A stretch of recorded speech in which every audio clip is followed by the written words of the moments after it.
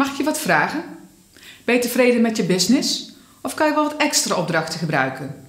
En hoe pak je dat dan aan? Je hebt waarschijnlijk al een flyer, een website, een LinkedIn-profiel en misschien ook al een Facebook-pagina. Maar zeg eens eerlijk, werken deze nou echt zo goed als dat je gehoopt had? Halen ze de business binnen die je wilt? Als je vindt dat het beter moet, dan kan ik je misschien helpen om die broodnodige opdrachten binnen te halen.